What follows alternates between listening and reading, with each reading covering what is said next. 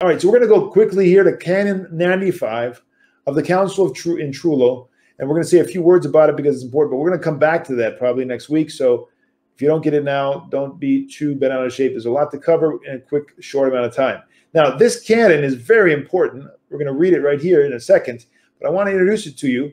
This is a this is the so-called Council in Trullo, or the Penthecti or Quinisext Council, and that is essentially the council that happened uh, to to put down a few years after the Sixth Ecumenical Council to put down the canons for both the Fifth and Sixth Ecumenical Councils. Essentially, they, be, they became known as the canons of the Fifth and Sixth Ecumenical Councils, and they're accepted by the whole church. And they they collected, essentially, did the work of a uh, uh, book of canons for the church. They collected ancient canons, recognized them, and and so this 95 canon is is a amalgamation. It's a collection of different canons put into one, which is unique and it needs a little bit of care in interpretation, obviously.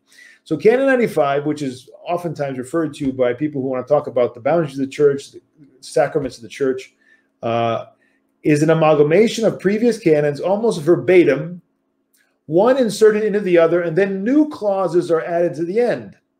The core of the canon is Canon 7 of the Second Ecumenical Council of Constantinople, Within this is inserted the first sentence of Canon 19 of the First Ecumenical Council. After this, there is added another section in addition to what had been decided in earlier canons. It is this addition that seems to cause problems for interpreting the canon. It is helpful, though, to remember that the canon is an amalgamation of canons with an addition to the end to expand the canon. Very important. I appreciate and I'm indebted to Father John Patrick Ramsey, who's who's you have the quote there, uh, the uh, link there, if you want to uh, look at it on academia. He's he's done the work to examine the proper understanding of this canon, and I, I'm going to give you the the result. But if you want to see the whole process, you can go to that academia link. You can see how he worked through the different versions, and he gives us the proper understanding of the canon, which unfortunately is very much misunderstood today. Very important canon, very much understood. So we're going to quickly read through it, and I'll point out where uh, people get it wrong so you understand as well. we accept, one second.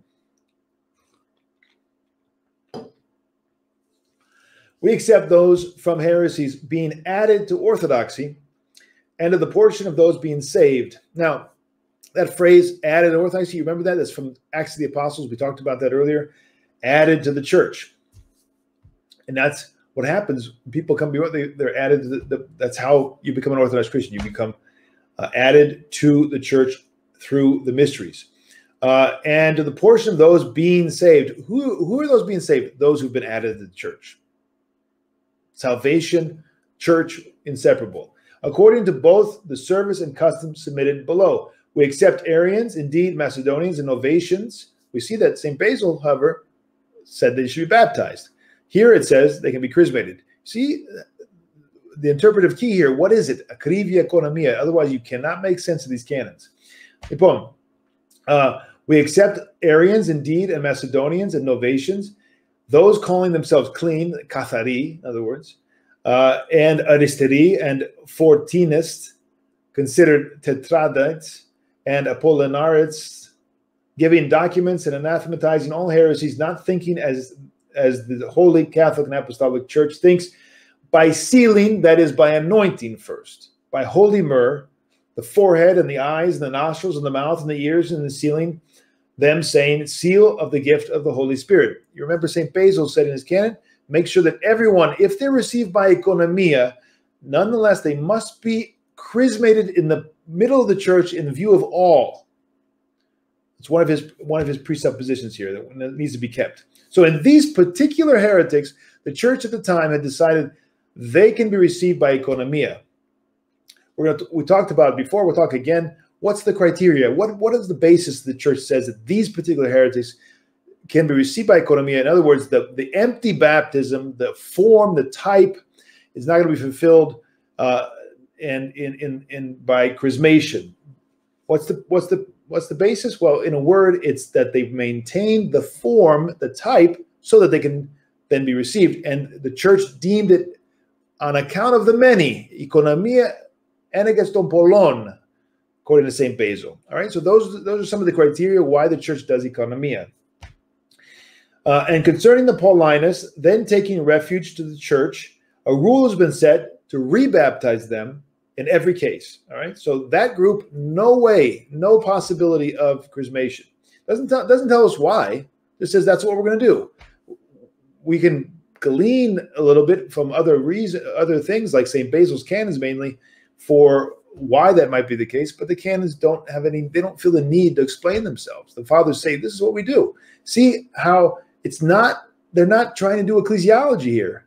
We don't need to, we're not trying to figure out what the church is from these canons. That's a very mistaken way to look at the canons. However, eunomians, those baptizing into one immersion, all right, so here we have a reference to the form, the type. And they say, no way, cannot be chrismated because they're giving you the reason. They were baptized into one immersion. Well, that's not the baptism of the church. We have three immersions, three names of the Holy Trinity. The na- or three persons of the one name of the Holy Trinity.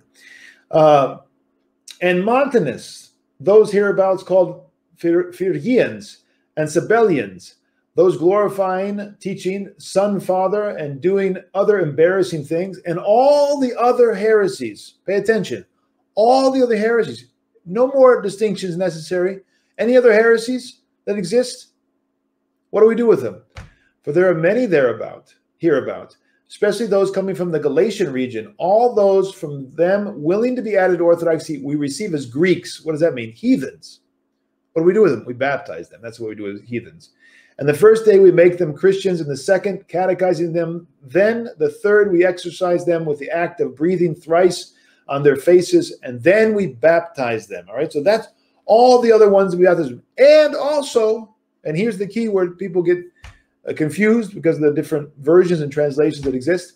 He goes on now. This is the addition. This, this latter part is the addition that it's only in this in Canon 95, doesn't exist in the Second Ecumenical Council. The, going on further down. Also, the Manichaeans and the Valentinians and the Marcionists and those out of similar heresies. What? What do we do with them? We baptize them. That's what that means. It is necessary to make documents and to their heresy. The Nestorians and Nestorius and Eutychius and Dioscoros and Severius and the remaining exarchs of these heresies and those thinking their things and all the aforementioned heresies. What did we do with them? Well, it's obvious here. We baptize them. That's what it is. People have been interpreting this because of a poor version translation. I don't know why, that they just receive communion, period. And then it goes on, and thus lead to partake of Holy Communion. For all of the pre mentioned heretics, after they're baptized, after they're chrismated, then they commune. That's all that's saying there. But it's been interpreted by many that this canon is saying that these other ones, these other heretics, uh, are going to be just received by communion. But that's unprecedented. There's nowhere in any of the canons that we talk about receiving people just by communion. So there's no basis to interpret this canon in that way when we have all the previous tradition doesn't talk about that at all. At the very least, it's chrismation. All right, so that is Canon 95. Very important. We'll come back to that in the future. All right, last thing, we're going to cover St. Tarasius, Patriarch of Constantinople. And what did he do? what did he do at the Seventh Ecumenical Council? Now, it's a little hard to read here, but when you get the PDF, uh, you'll be able to read it. Or if you want to go online and download On the Unity of the Church by St. Hilarion Troitsky, it's a PDF, easily to find. Just put St. Hilarion on the Unity of the Church. You can find the text. Go to page 51. You can read it yourself. Um, but forgive me, so it's a little bit small here, but this is very important. I'm going to read to you, first of all, what St. Hilarion has to say here. And then I'm going to read to you uh, what St. Tarasios did. All right. Very, very important uh, for our understanding of economy and heresy. And this is an interpretive key, very important interpretive key. How do we deal with heresy? How do we, what's the church, the boundaries of the church? All right. So let's begin here. If you can read it with me. I wish I could make it bigger. I don't think I can. Um, let me see if I can. Hang on. Maybe I can. Yeah, but then can I can I bring it so that you can see it? Or is that it? not really. All right, so that's not going to work. All right, so let's let's. I'll read it to you. If the thought that heretics already have grace-filled baptism lay at the foundation of their being received without baptism, all right, by economy, then one would have to determine for each separate church exactly and without fail which of the heretics have baptism and which do not, and no such thing occurred. I'm at the top of 51 here on the right side of the page. The church permitted diversity of practice according to the conditions of place and time without differentiating very rigorously between dogmatic teaching of the heretics. All right? So the church didn't go as we saw. They don't they don't go into detail about the dogmatic differences between the heretics. They say these are going to be received this way, these are going to be received this way. Now, here's the key. And one of the interpretive keys here. We go back to the Seventh Ecumenical Council. What did St. Tarasius do?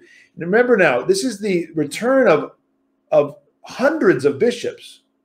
20, 30 years earlier in Hieria, they had a massive council, iconoclast council, 368 bishops.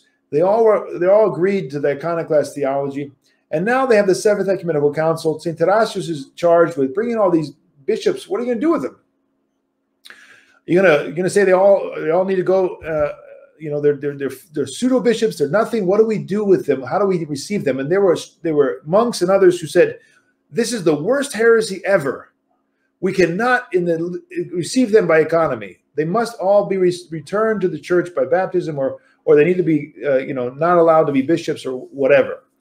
Now that's the crivia but what about economia? What can we do in this case?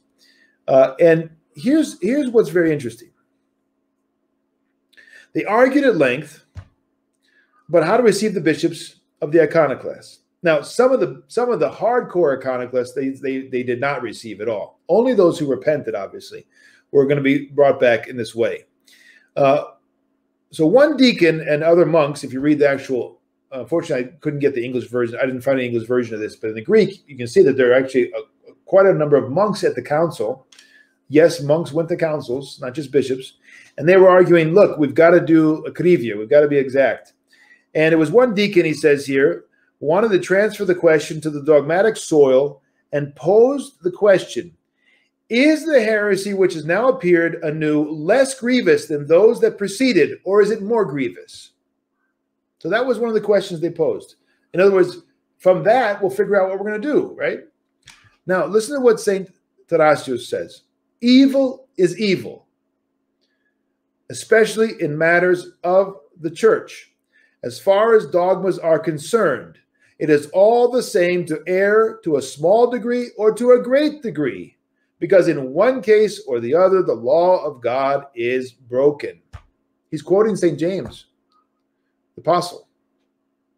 So again, I'm going to repeat that. It's very important because people uh, today, Orthodox people are arguing, well, some heretics are closer, therefore we receive them by this way. Others are far away. No, that's not how the church thinks about this. Listen to what St. Tarasius says again. Evil is evil, especially in matters of the church. As far as dogmas are concerned, it is all the same to err to a small degree or to a great degree, because in one case or the other, the law of God is broken. And we might add, and communion is lost. You, you, you. The, the point here is that you've walked away from communion out of the church. You no longer have communion. That's what's been lost. Whether you were, you lost it through Arianism, Monophysitism, iconoclasm, papalism, Protestantism, it doesn't matter. Now, what what matters there is that it might be harder for you if you become an occult Satan worshiper. Obviously, it's going to be harder for you to become come back. That's what's different. If you become a, a Jehovah's Witness, if you become a Mormon, you're going to be have a harder time coming back to the church. Obviously, you've adopted even stranger ideas, and now you have more obstacles. In that sense, there is a distance. But in the sense of whether you lost communion with the church, there's no difference.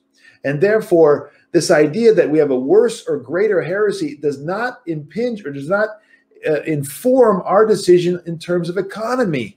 Economy is going to be on the basis of what's in the best interest of the salvation of the people and of the church. That's the way the church looks at it. Now, very important last little section here. I hope that you got that. Go back, download on the Unity of the Church, read it and reread it. if you want to become well versed in the boundaries and the nature of the church.